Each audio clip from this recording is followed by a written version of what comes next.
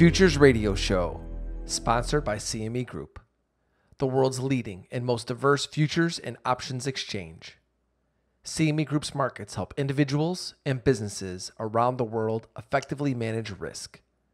For access to free educational tools and resources for the active individual trader, please visit activetrader.cmegroup.com Every day, traders and investors dive in to tackle the ever changing markets to find opportunity. Futures Radio Show is your number one source for answers to the questions that all market participants want to ask.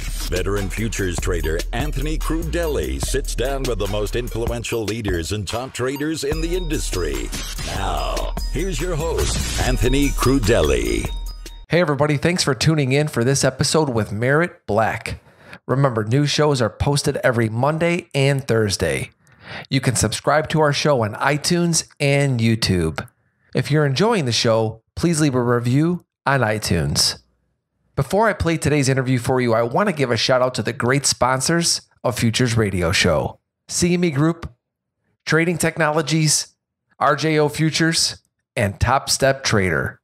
To learn more about these sponsors and the important things they are doing for futures traders, be sure to click on their logos on our website. Now, today I spoke with Merritt Black, head of futures and commodities at SMB Capital. Merritt and I had a great chat about his process for trading futures. We discussed why he chose futures over stocks and why he chose to be a prop trader instead of an independent trader. We talked about how the crude oil market chose him and not the other way around. Merritt explains his technical strategy and the edge he has using it. We talked about why he doesn't look at any fundamental analysis when trading crude oil, and he shares with us his process for entering and exiting trades. Merritt explains why context is king, and we talked about trading around a core position and the process he goes through when increasing his contract size. Finally, we talked about trading psychology. As usual, thank you all for listening, and please enjoy this episode. Merritt, welcome to the show. Thanks for having me, brother. Well, it's great to have you here today, Merritt. Uh, man, it's been a couple of years already since you and I met at SMB Capital in New York City when I visited there. Uh, and I have to say, when I walked into SMB, I was pleasantly surprised to see that uh, you were there trading futures. I, I really had no idea that uh, SMB had futures traders there. I mean, when I when I was going there, I was thinking I was going to be speaking mostly with stock traders. And of course, when Mike introduced you and I, we hit it off right out of the gates.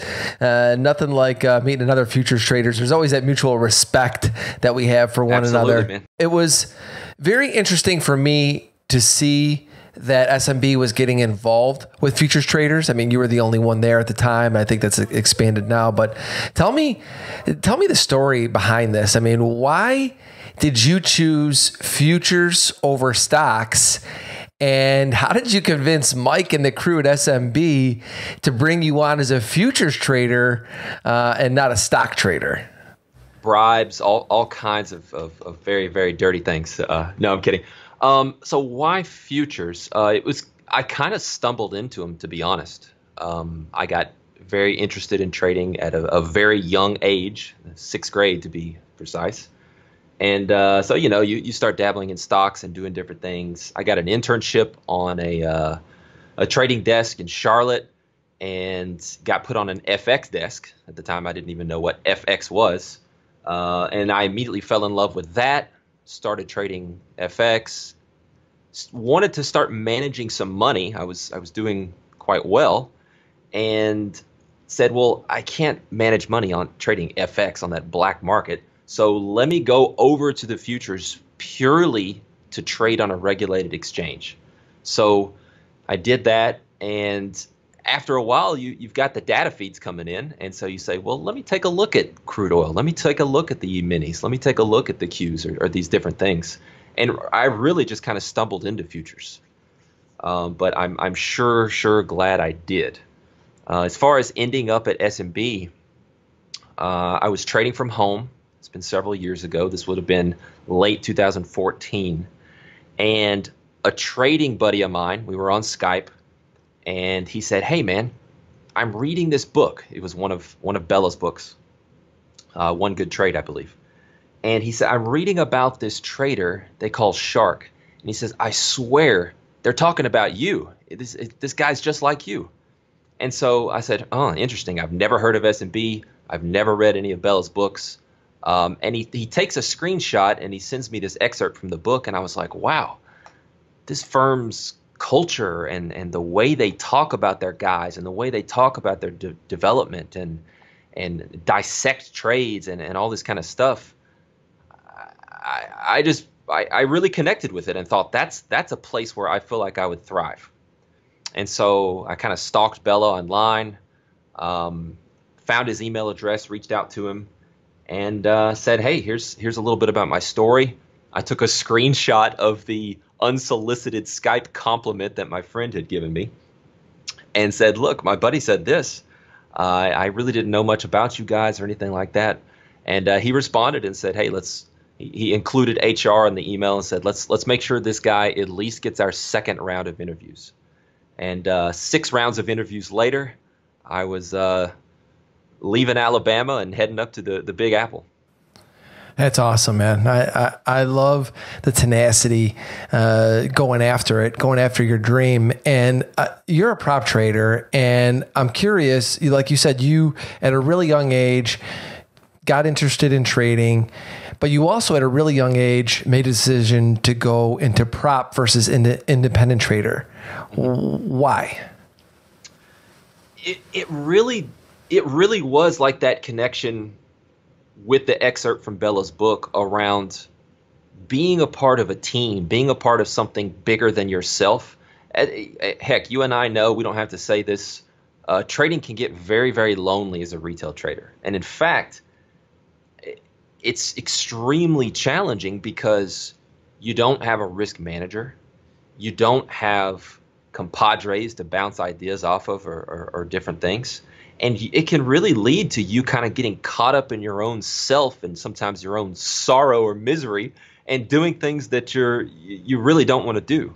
So prop is a way for me to be a part of a team to have mentors and coaches, to work with someone like Dr. Steenbarger on a, a daily and weekly basis, to um, have people that I'm accountable to, uh, to have a risk manager that can pull me off the mound when I really don't want to pull myself off the mound.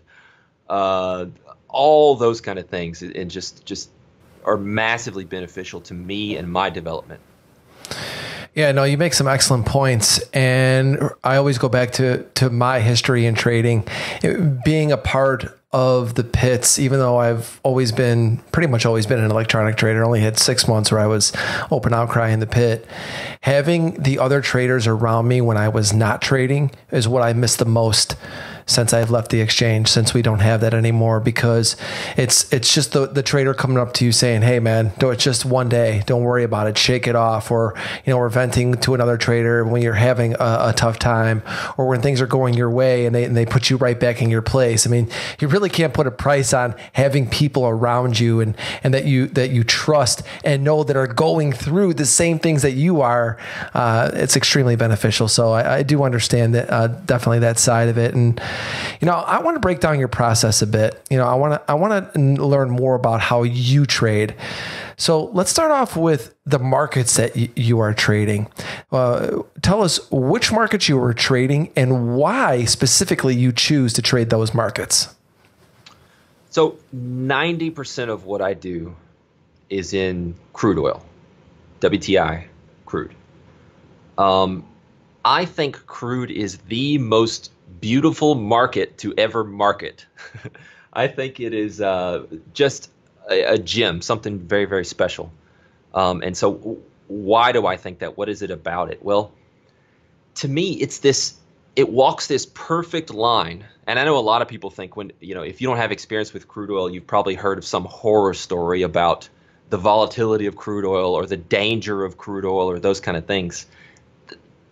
Obviously, trading futures is risky, um, in general, but crude oil is really not some crazy beast that that can't be tamed or anything like that. So to me, I think it comes down to liquidity, man. I really do. I think that crude oil, for me, as an, a, a, almost entirely intraday trader has the right balance of liquidity. So, so what, what does liquidity matter? Well, you look at something like the bonds, they have just this massive liquidity. So everything's so thick, it's so slow, there's so much back and forth. Um, it requires a, almost a totally different mindset and, and approach and, and strategy and all these kind of things. You have something that's a bit of a step up and, and can have uh, variations in that would be something like the E-mini S&P and then further along that spectrum, you have crude oil. It's a very momentum driven market. It has really nice intraday rotations. And to me, as an intraday trader, I'm all about intraday rotations. If a market is contextually at a place where I think there's opportunity and I don't get quality rotations, more times than not, I'm going to lose money. So for me, crude oil providing quality rotations and clean rotations when it is moving and when volume is there, uh, it allows me to do what I do better. And that's that's really, I think, the best way I could put it. So, do you think that crude oil market picked you versus you picking the crude oil market? absolutely, absolutely. I didn't have a choice in the matter. Yeah, see, I think that's such an important point uh, here because when I ask other traders why they trade a market and they just say, well, it moves, I like it because it moves. I always have a problem with that because I feel uh, a personality connection with the markets that I trade. The same way you spoke about crude uh, with that passion as to why you trade it, why you look forward to trading it to me is what a person has to feel uh, like when they're when they're choosing their market. So uh, I think that's a very important point. If if you can't answer the, everybody out there listening why you trade a market the same way Merritt did, then you haven't found your market yet. That's just at least my two cents. But so I would you, agree. So you mentioned that your style is intraday. So what I want to know is because you trade crude oil, this is a market where I've spoken to many many people about whether fundamental or technicals is the choice for uh, their strategy for crude. So, do you use a fundamental strategy, a technical strategy, or a combo of both? I avoid the fundamentals like the plague. I essentially trade from a, a cave. Um, I it, it's it's almost embarrassing the the lack of fundamental information that I know. I don't care what the inventories numbers are. I don't care what the Fed's doing. Um, I, I just genuinely am so enthralled with my own process and, and those those being technical in nature. Um, I, I I'm really like a fundamental idiot. I really am. So purely technical. So talk to us about what technical strategy you are using, and also why you chose that technical strategy. Well, good question. Um, in terms of why I chose it, uh, so I use a top down approach. Um, I'll start out understanding where uh, a market may be bracketing on like a monthly or weekly bar chart just to get a, a big picture type of view. Um, and then very quickly from there, I, I, break it down using market profile. That's that is uh, my tool. That's my baby, market profile for sure. Um, so I really care about where distributions are forming I'm always trying to get a sense of where a market has a, a quality read on uh, value and where that is and how it's migrating over time and what's going on there, where there's uh, excess or lack thereof, all those good market profile type things. And so that frames a contextual picture for me. Using that, I'm, a, I'm able to see what the market is attempting to do you know, its current condition, as I like to call it, whether that's rotational or imbalanced, or as some might call it trending. Um, and then from there, I now have an idea of perhaps potential destinations for that market. I have an idea of where that critical current condition and context uh, would change. That's always important. If you don't know where your good idea would change or be disproven, you really don't have a, a good idea in general. So we frame context that way, and then I drill down from there into the intraday timeframes. And um, I really like volume charts uh, versus time-based charts. Almost exclusively lean on those. And I'll use VWAP. I'll use order flow. Um, all kinds of things to help me frame what's going on inside of that all important contextual picture that I talked about earlier and uh, simply make decisions from there. I'll use some price action skills. Um, I think that's about it.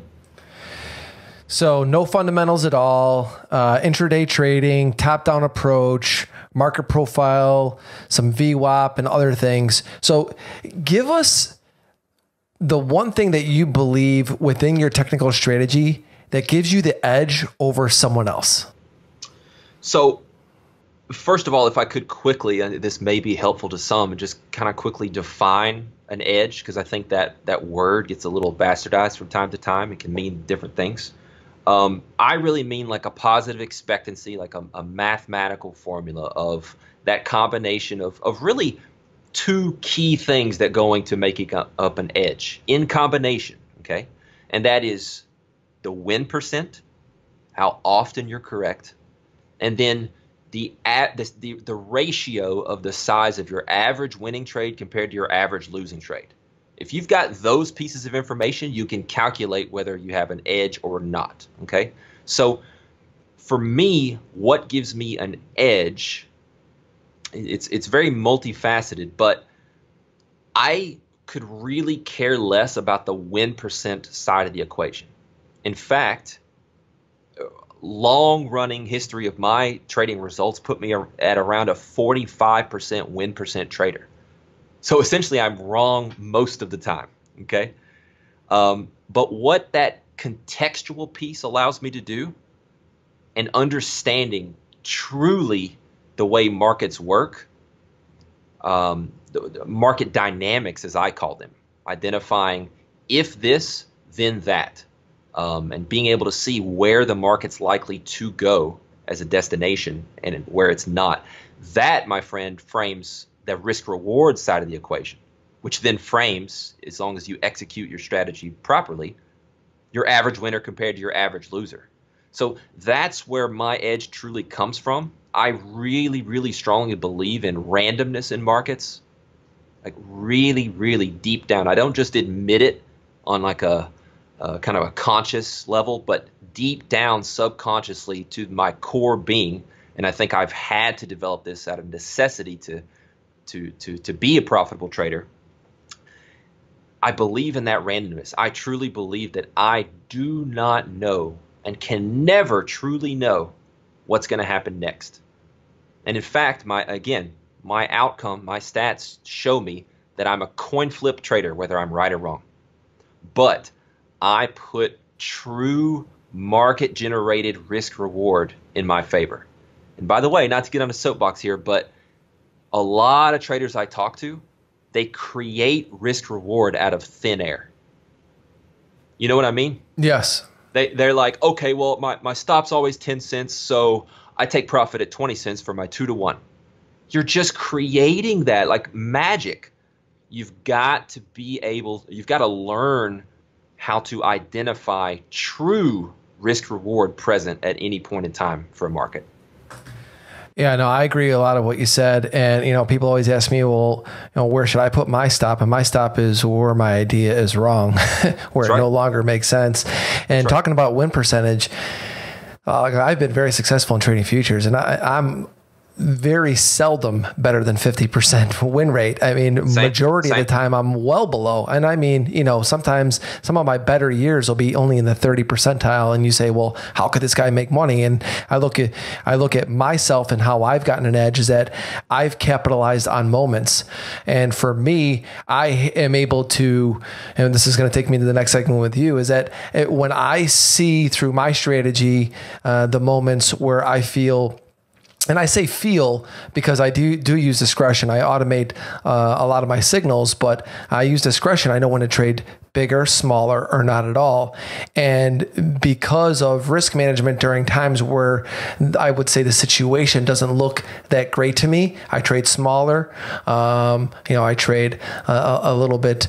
Um, I don't want to say tighter, but I just keep myself away from from the bigger losses. And when things are working and the market's proving to me that things are working then i really step on them and that's just something for for me that's always worked because I, I at the beginning of my career i always felt that hey you know if i could just make x amount a day then that's gonna then it's gonna work out. And what i realized after blowing many accounts that every time i tried to do that i was putting too much pressure on myself and i needed to figure out a little bit of a different way. But uh, i, I want to get back to you and, and, and i want to talk about entries. Mm-hmm. So, um, you know, in um, fact, I was just thinking about adding to my answer around edge and around kind of specific entries. So let, let's let's dive into it. Yeah, I mean, I was going to say, take us through an entry. I just talked about how I, you know, I have my signals automated uh, to where when all of a sudden there's a, a, trade opportunity, it it pings me and says this is something that you might be interested in. Then I decide big, small, or not at all. Um, so I'm wondering, do you scale in? Are you in all at once? Uh, do you have a range of execution? That's what I use. And are you always trading the same contract size? Or is it fluctuating based on the situation? Great questions. Um, you you you've caught me at an interesting time in my trading actually to, to answer that. Um, for years, I would have quickly told you I keep a position size or at least my R value, my risk that I'm taking on any given idea, I keep it very consistent. Uh, for years, I would have told you that I do not scale into positions.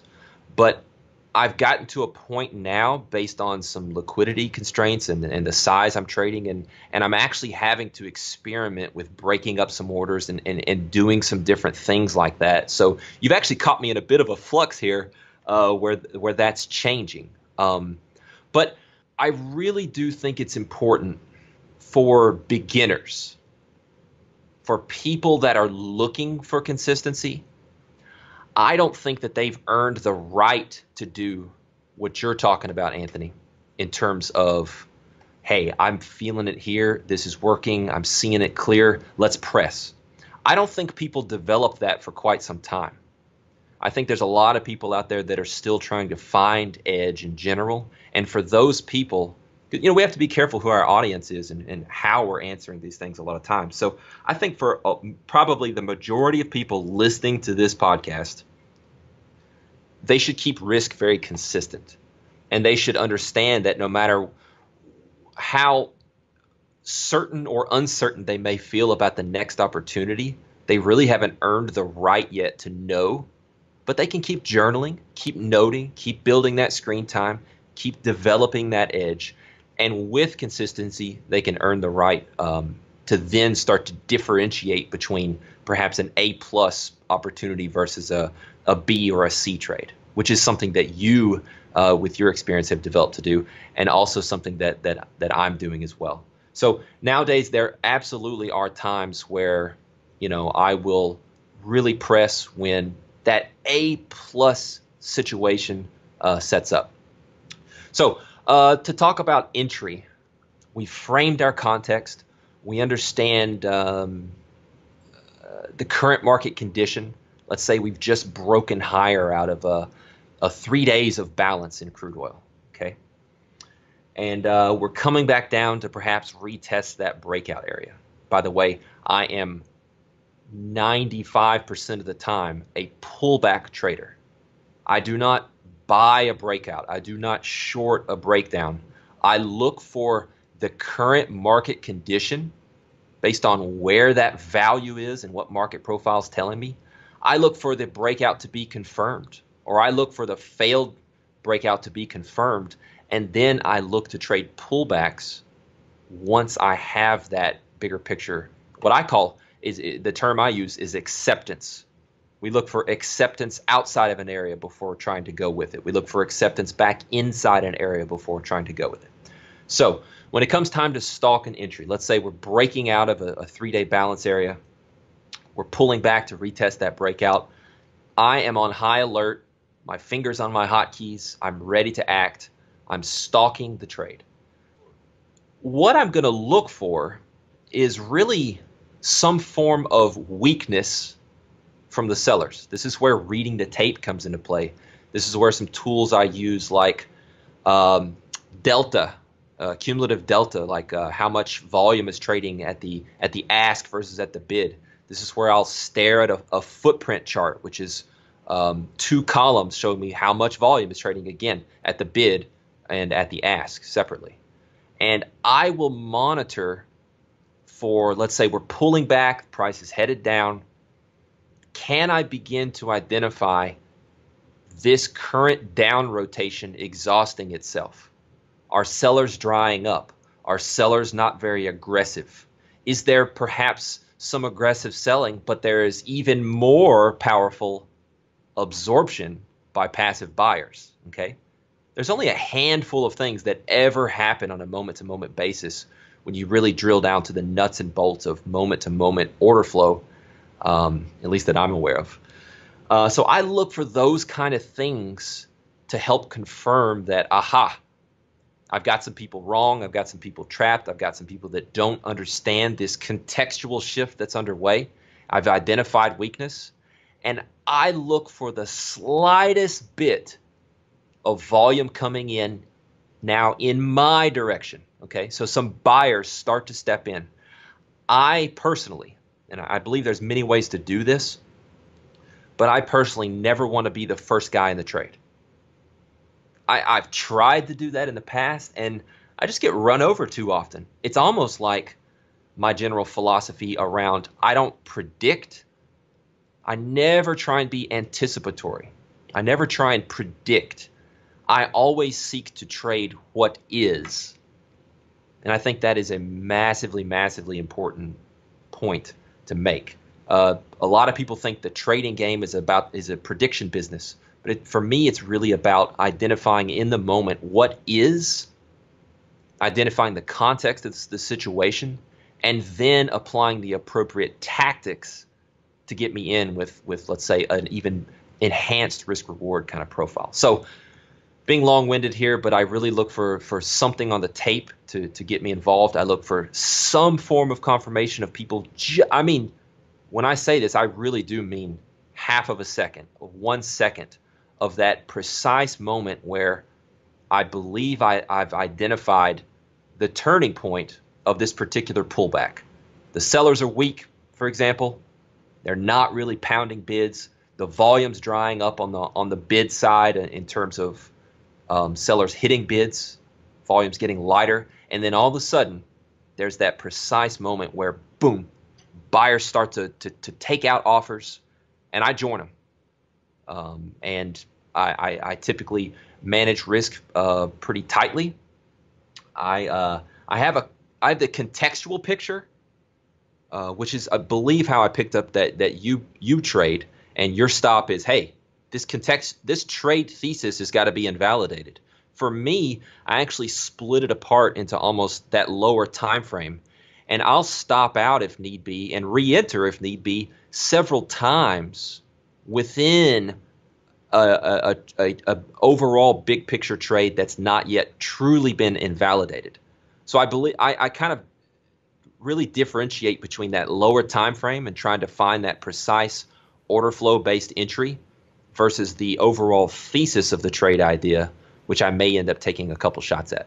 Is that helpful? Is that making sense? No, yeah, I love it. Um, one thing I want to comment on is how you said you you're not in the prediction business, and this goes back to uh, why I choose a range of execution. And I've told so many people, you know, even if I'm going to trade hundred lot or multiple hundred lots in my career, a lot of times I'll start off with a one lot, especially when I'm going against trend in a situation where the market's really moving aggressively, oh, you know, away from where I think it could go. And I've learned more from a one lot than than than I could have ever even imagined because I started to expand my ranges uh, from just a single price, and because when you're held by a single price, you basically are at that moment you're not allowing the market to show you to prove to you that it respects your idea, and that's what I'm hearing a lot of out of you is that you know for me I use it as it's, is it respecting a price a price range? You're using tools to say all of a sudden now the buyers are coming in and you're joining them um, what I love about the market and traders is there's just two different ways to go about that. I, I'm doing it with price. You're doing it with, like you said, market profile and trade volume and, and, and other things that you're seeing. And that's such an important point for everybody is that it doesn't matter what my strategy says. And I think it's going back for you too. If you see something, you're going to wait and see how it reacts before uh, you know you go all in or even to a you know a medium sized position because you want to be able to let the market prove to you that it agrees with what you're looking at. That's right. Yeah. So uh, I want to stay on entry here for for a moment and the question I have is is most of your decision making coming from the intraday action, uh, or is there some morning preparation or even some automation? Like I talked about, I automate my trade signals uh, throughout the day. So this way, uh, it tells me, okay, look, this is something that you like uh, in your decision making. Oh man, well, uh, again, context is king. Okay, so.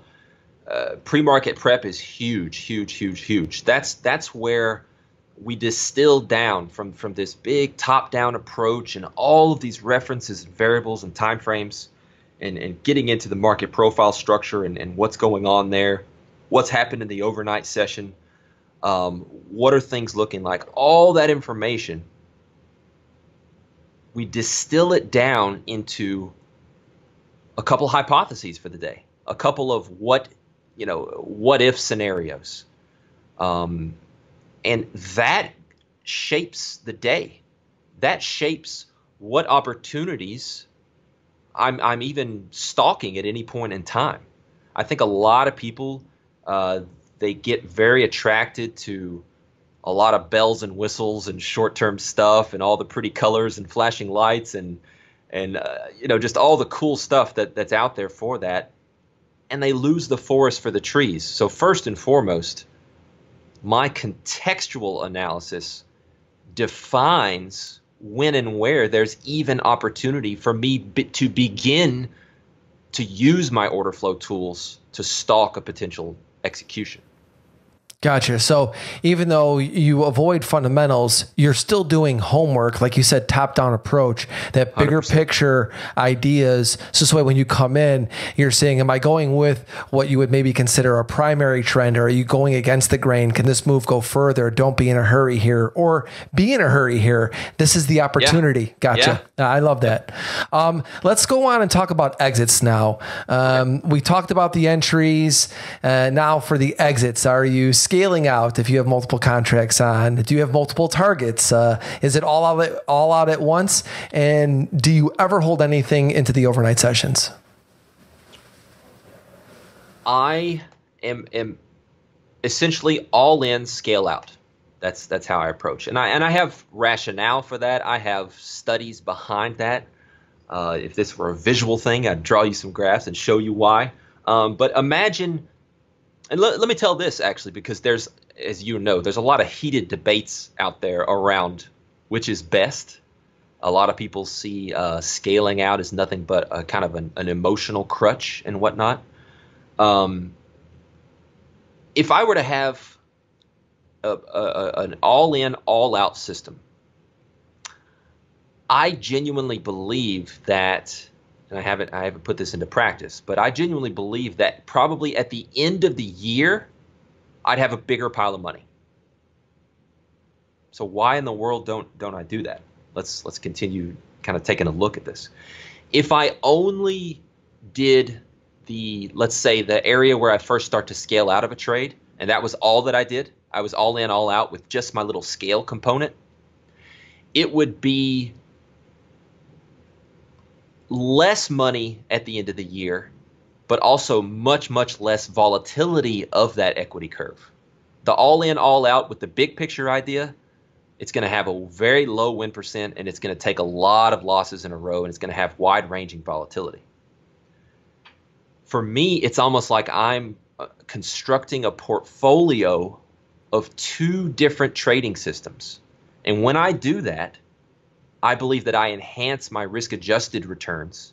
I smooth out volatility of my equity curve and I achieve very, very competitive returns, especially on a risk adjusted basis. So, the way I see things with my all in scale out approach, is that I'm really running two systems. They just happen to share the same entry.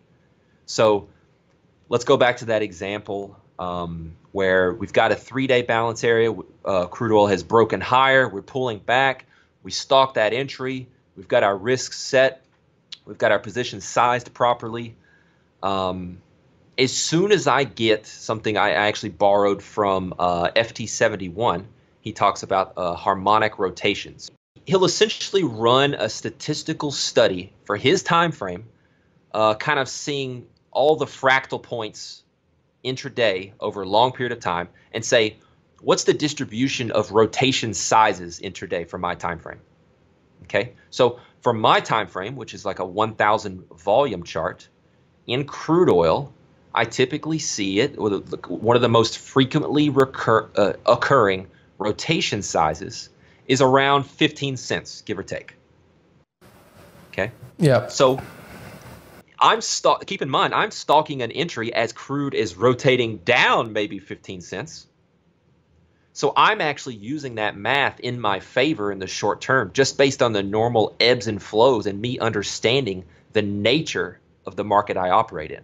So I get in when the buyers start to come in, it lifts up. I'll look to scale depending on the type of trade, anywhere from one third to two thirds of my overall position based on kind of that first leg that I get on my time frame. So I'll take it off at 15 cents or so, and um, I don't consider that oh now I'm risk free in the trade. Um, that's that's just I, I don't believe anybody when they say that. That's that's a flawed way of thinking. I think. Uh, sorry to step on your toes if that's a phrase you use all the time, but um, no trade is ever risk free. Um, there's always risk reward that you're handling um, when you when you make any trade decision or have any risk remaining on. I don't believe in moving stops to break even again, I, I, I think that's kind of magic human created stuff. Every trade decision I make, I really do want it focused on market generated information and my process for making decisions. So I'll scale out of the trade when I get a rotation in my favor. And then in the case of a breakout from a three day balance area, I'm going to leave a core position on to run to some higher time frame targets or until the intraday, as I define it, imbalance up comes to an end. Okay, and I'll use uh, VWAP as a tool to help me define is this market still trending intraday and whatnot. And if that comes to an end, I'll exit. So I have multiple ways that the trade might play out, but I'm always going to take that er, initial scale, book some profits with my scalping system, if you will, and then I'm going to let my big picture idea either play out or not to me there's no right way to do this like someone someone can't say that their exact way to, of doing this is right versus someone else's and this is why i right. love this conversation so much because what i do is i trade around a core position a lot and i and i do a lot of where i'm going to have a core position on and that position is going to be smaller yep. and then what i'll do is i'll trade a lot bigger once i see the reaction to that core position start to work uh, and then I'll all of a sudden get in really aggressive, and I'll basically have a different stop and then a different scale out for that trade. Uh, going back to what you're saying to that free trade, I get risk off of a position that is bigger with maybe a, t- a, a tighter stop, and then I keep that small trade on. And in my mind, I'm thinking to myself, I've made some money around this position. I'm now going to try and hold the smaller one and let this trade work. That's just something that I do. I, I don't know. I just want to kind of see what you think of that. No, no, I, I, I wholeheartedly think what you're doing is fantastic. Here's the here's what I think the difference is, and part of it's kind of semantics for for some people. Um, you're making purely market generated information decisions, correct? Like when you scalp in and out of that kind of satellite position, you're doing that purely with like the your your read on the market and what's going on moment to moment.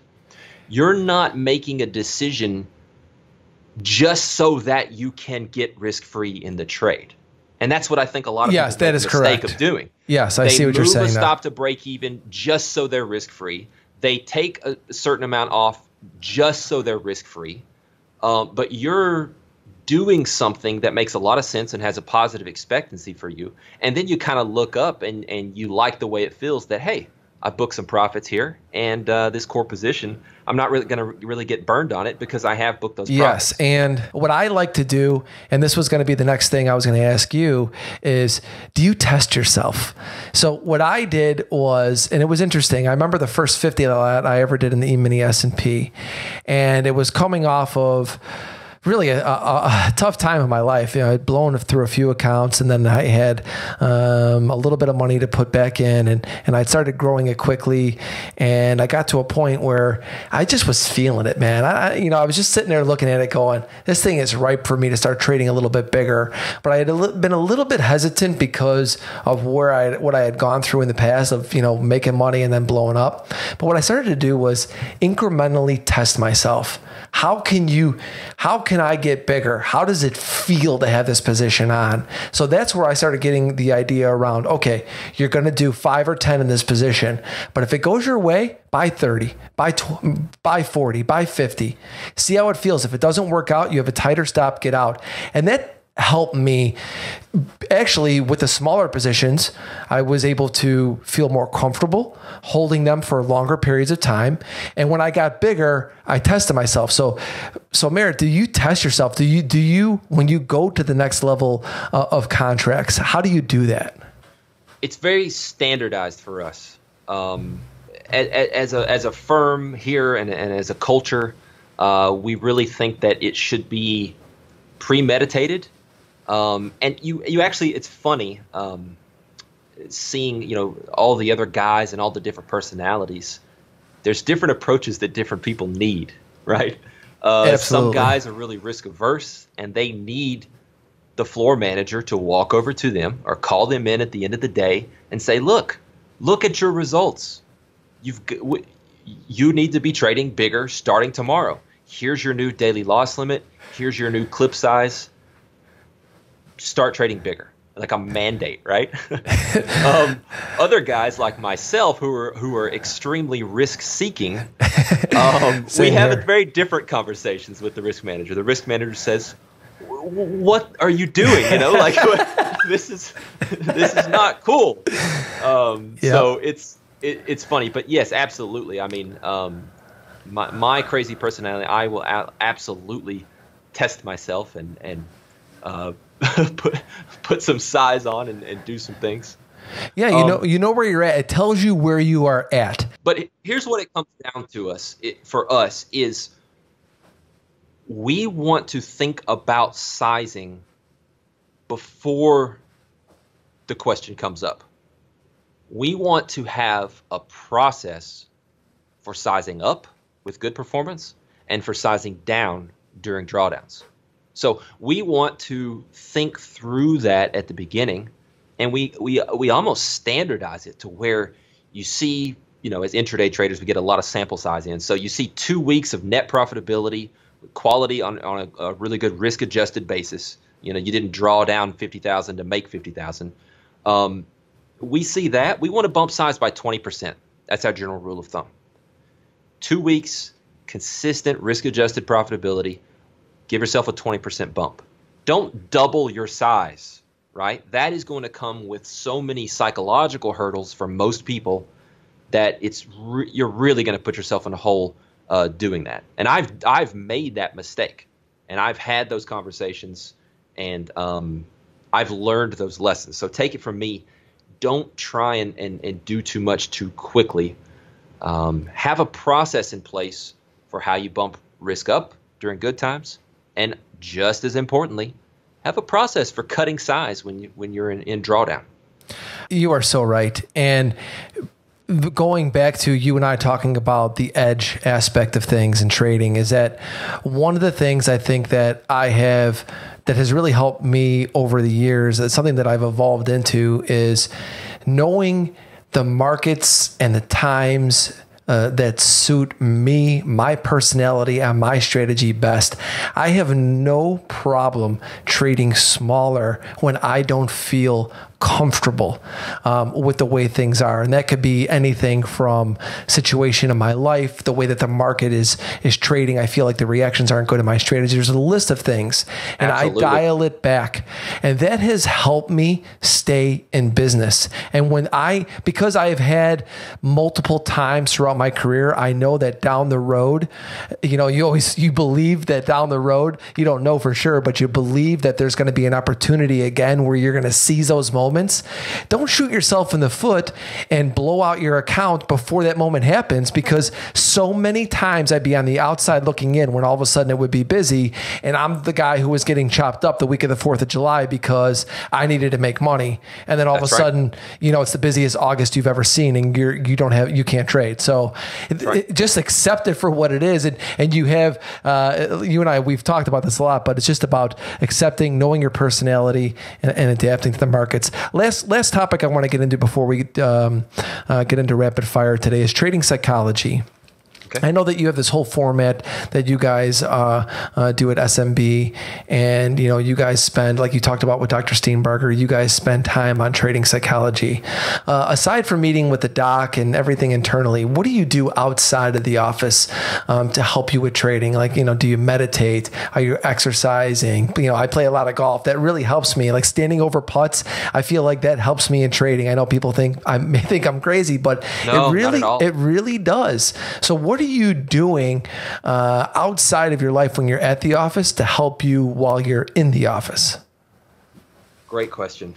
Um, on on a, I guess there's two categories I'd give for that. One would be kind of a, a daily routine, and uh, for me that involves really starting out with an attitude of gratitude. Believe it or not. Um, I, I think it's really, really important for me to begin a day with some prayer, with some meditation, and working on that self awareness and getting my mindset to just be really, really thankful for all the things in my life. Thankful that I get to come to work and, and trade for a living. Um, because trading can beat you up, right? So, really starting out and, and getting in that positive frame of mind is, is really, really important. I also, again, on this standardized type of daily uh, answer, I I like to take a look at some longer term goals. I like to look at where I'm at, what it is that I'm working towards. I genuinely believe that most mistakes that I've ever made as a trader or as a man have been times where I have lost sight of the bigger picture. I've lost sight of who it is that I want to be as a trader or a man longer term right? And so uh, take have those goals and take a and and just come into the day closer with a more close connection to that longer term vision of where you're trying to get to it's going to help you make better decisions in real time um, i also like to check in with myself uh, in terms of like you mentioned are you too sick? Are you too tired? Are you emotionally upset? Should you back off? Should you not even trade for the session? You need to check in and understand yourself in that way each day. Um, I also like to ask myself, where am I on perhaps this spectrum of underconfidence to overconfidence? If you're underconfident, you you you could come in and, uh, especially if you're underconfident and not consciously aware of that, you might come into the session and not pull the trigger on the best idea of the day. If you're overconfident, you might come in and violate your risk rules or, or overtrade or, or, or do other things. Each of those has consequences, and bringing it to a conscious awareness um, can really, really help you. So those are just a couple things. Um, you know, visualization exercises, starting out the day with a particular process goal um, is just crucial I, I would suggest each and every one of you redefine what winning and losing looks like to you on a daily basis and center it around something specific that's within your control not p&l okay so Uh, those are just kind of some some daily things. In terms of outside of trading, like you, I also play golf. Um, I have become an oil painter over the past few years, and I think that is because I no longer am in Alabama where I can go out and hunt and fish and do those things, and I needed some kind of creative outlet to get lost in, and I picked up painting. I went to a museum and, and uh, came back and just started painting.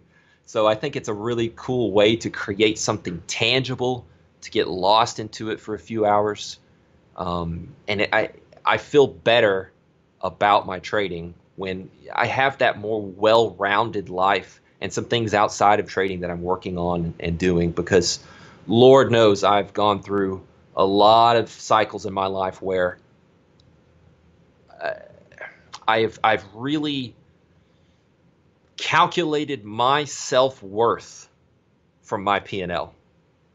And that is a bad place to be you really as important as trading is to you and as important as you know it's your passion and the thing that kind of makes you tick and gets you up in the morning you've really got to find some things outside of trading uh, that you can also be passionate about and that can drive you because uh, you just you, you can't derive your self-worth from your trading. So anyways that's that's a kind of a ramble there but that's that's what i think about it Merritt, what can I say? This is awesome stuff, my man. you're just fantastic. Uh, now, we're not done yet. We have some rapid fire questions if you're ready for those. Uh, sure, bring it on. All right, everyone. Our rapid fire segment is sponsored by Trading Technologies. Access the global markets from virtually anywhere with TT. They are the world's fastest commercially available futures trading platform. And now you can trade cryptocurrency spot and derivative markets side by side. For more information, please visit tradingtechnologies.com. Merritt, first question What trader has influenced your life the most and why? I couldn't say just one. I would have to say the guys on the desk here, from the partners of the firm to the just top performing traders around me. Um, my goodness, just to to be inspired by them uh, coming on board and, and and just seeing the work ethic, the dedication, uh, the the absolute class act and professionalism of those guys, and, and just the way they approach their craft every day. It's it's inspiring. What was one of the hardest things that you've had to overcome in trading? Without a doubt, myself. Um, I was not cut out to be a good trader. Believe me, guys, I was not cut out for it. Um, I was naturally good at everything I ever picked up as a kid. I wasn't the kid that had to study really hard. Um, I had a massive ego. this this is not the recipe for success as a trader. Uh, so really, myself would be the the biggest obstacle. How has your trading process evolved over the years? I started out really focused on just kind of clean price charts and nothing but price. And then I found out that price was nothing more than an advertising mechanism during an auction process. And so adding a contextual layer with market profiling and whatnot uh, was one, one of the biggest evolutions in, in my trading. What is one attribute that you believe every trader should have? Dogged tenacity. Uh, I, I, think that if you're if you're not the kind of person that can absolutely get your soul crushed and uh, be able to maybe hate yourself for a couple hours, but then like a freak of nature, when you wake up the next morning, you're like, yeah, I'm ready to get after it again if you don't have that, uh, you you will not make it in, as a trader because you will get just the crap kicked out of you so many times. You've got to be able to bounce back. What's your favorite book about trading or the markets? I would have to go with uh, Mark Douglas's uh, Trading in the Zone. Uh, I think if you are unable to think about trading differently, if you're unable to think more in terms of a probabilities based mindset versus I know what's going to happen next, so I need to be right. So that's not working. So now I feel bad. So now I do things I don't want to do. If you're unable to remove yourself from that natural human way of doing things and learn to think differently about what you're trying to do as a trader and what markets are, um, that's that's just absolutely critical. What's your favorite movie or TV show about trading or the markets? I'd have to pull out a, a nice 80s classic, uh, Trading Places. What's the best piece of advice that you've received about trading? First, be unoriginal. Um, I think uh, I think I, I, I, always was kind of a scientist and, and trying to reinvent the wheel and, and, and come in and just have the most fresh, revolutionary approach ever. Um, I think, and the key word here is first. First, be unoriginal and that that's something that that Bella taught me. Um, um, it, it, it's learn step in someone else's shoes for a while, be able to be coachable and mentored and see things like they do, and then earn the right to get more original and more original and more discretionary. If you could go back to the younger you and give a piece of advice, what would it be? Almost, this is going to sound kind of crazy, but it's like I would teach that younger person how to prevent lying to themselves. Now, I'm not, I'm not, I'm not a liar, but uh, and I don't think most people are, but based on pure tendency of humans to protect their egos, you don't face perhaps all the truths about yourself and about what's going on with the markets you're looking at and the charts you're looking at. So, for example, um, at the end of the day, crude oil may have ran up a bunch. And the younger Merritt would have been like, oh, you're an idiot. Like, that was perfect. You could have got long. You could have made so much there. That was great.